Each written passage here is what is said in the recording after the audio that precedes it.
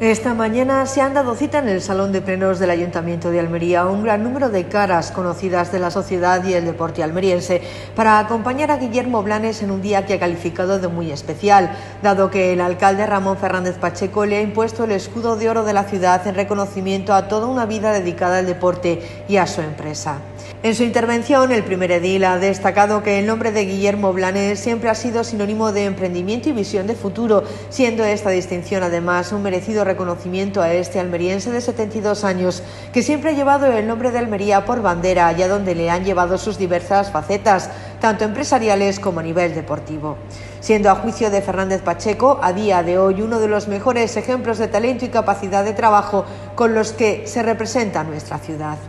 El alcalde ha expresado el deseo de que ojalá las nuevas generaciones de almerienses sigan el ejemplo de Guillermo, recordando que el auténtico motor de futuro es saberse superar día a día, cuestión que ha sabido hacer Blanes.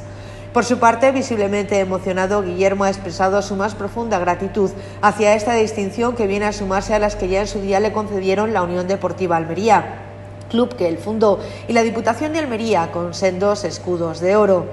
Blanes ha dicho sentirse feliz en el día de hoy, ha querido recordar a su familia y a sus padres, quienes asegura le inculcaron los valores de la humildad, la honradez y el trabajo, sin olvidar su mujer Pepita, su inseparable compañera de camino y al primer aprendiz de su padre, Antonio Herrera, del que su hijo ahora es la mano derecha del propio hijo de Guillermo.